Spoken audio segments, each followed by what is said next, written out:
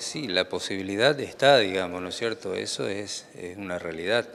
Nosotros todavía acá en Misiones no hemos tenido el reporte de ningún caso en estos últimos meses. Bueno, si bien, digamos, dice que existe la posibilidad de que se pueda llegar, ¿cómo trabajarían en caso de que, de que se conozcan casos de esa magnitud aquí? Bueno, nosotros eh, tenemos la tecnología para hacer determinaciones, ¿no es cierto?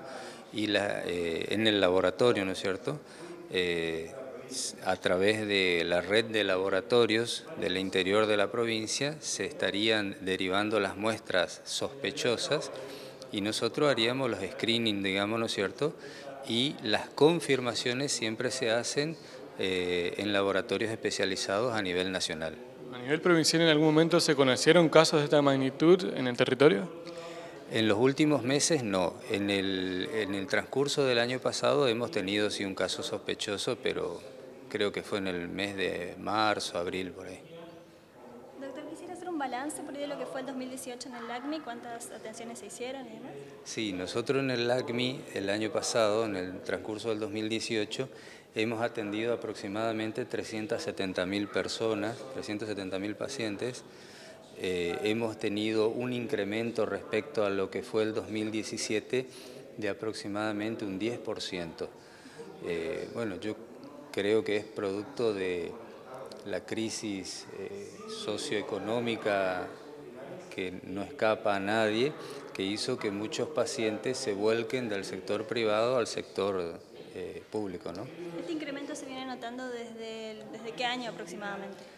Bueno, nosotros venimos notando eh, incrementos a partir del 2014, eh, que hemos, le hemos dado una impronta importante a través de un gran apoyo que hemos recibido eh, del gobierno, ¿no es cierto?, que ha volcado muchos recursos al sector público, ¿no es cierto?, y nosotros como laboratorio no escapamos a ese apoyo, ¿no es cierto?, eh, no escapa a lo que es la realidad de la salud pública de la provincia.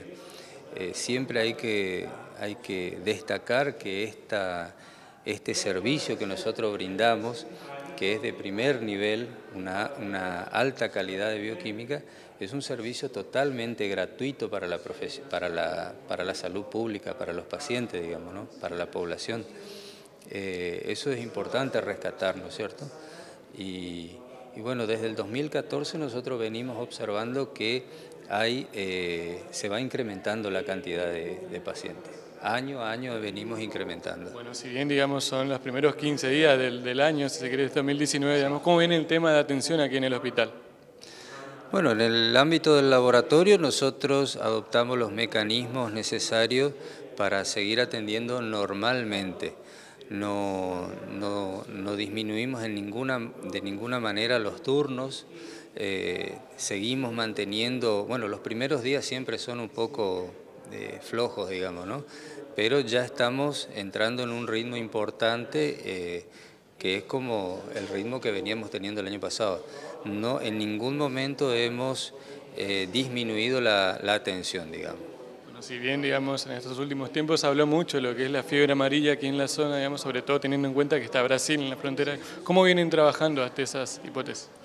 Bueno, nosotros hemos tenido eh, un par de, casos, no en humanos. Nosotros lo que hacemos es recepcionar eh, los órganos de posibles eh, monos que han muerto por fiebre amarilla. Recordemos que el mono es el, vector, digamos, que, transmite, ¿no?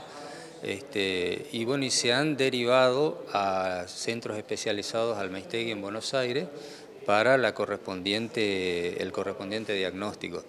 Todavía no hemos recibido eh, los resultados, ¿no es cierto? Eh, sí, fin, de, fin del 2017, comienzo del 2018, sí. Sí, sí. Este, este, número que usted dio de atenciones que se hicieron, ¿el porcentaje de personas del interior? Nosotros aproximadamente atendemos un 26 o un 28% de nuestro volumen de trabajo son de pacientes derivados del interior. Eh, así todo, aparte de ese porcentaje, hay muchos pacientes que por voluntad propia vienen del interior eh, y se atienden acá, que al hacerle la ficha correspondiente manifiestan que son del interior. Pero como se atienden acá, eh, entran como pacientes eh, de acá de Posada, digamos, ¿no? Pero hay muchísima gente que viene del interior, sí. Bueno, justamente preguntarle, digamos, ante esos casos que habla de la zona del interior de la provincia, digamos, ¿cómo trabajan en materia de recomendaciones? ¿Recomendaciones en qué sentido? ¿Cuánto a prevenir la enfermedad? ¿Cuál enfermedad sería? Fiebre amarilla, digamos. Ah, no, bueno, eh, epidemiología ya tiene su protocolo, ¿no es cierto?, a través del cual eh, hace su prevención, ¿no es cierto?, la gente, los pacientes se tienen que vacunar, ¿no es cierto?, eh, eso es así. En materia climatológica, digamos, juega un papel importante, sobre todo ya que pasamos básicamente a un clima subtropical aquí en la provincia. Sí, nosotros lo que observamos directamente, eh, las patologías están directamente relacionadas con eh, el factor clima, en el sentido de que cuando hace calor, mucha, mucha humedad, mucho calor, mucha proliferación de vectores, de mosquitos puntualmente, nosotros notamos que hay una alta incidencia de arbovirus, ¿no es cierto?, que son los virus eh, que están relacionados con patologías como el dengue, el zika y la chikungunya. Eh, por eso en verano, cuando hay muchos mosquitos, hay mayor incidencia de estas patologías. Eh, en invierno, cuando hace frío, tenemos más patologías respiratorias. Por eso notamos que los virus, como la influenza A, influenza B, hacen pico en los meses eh, de, cuando hace frío, digamos.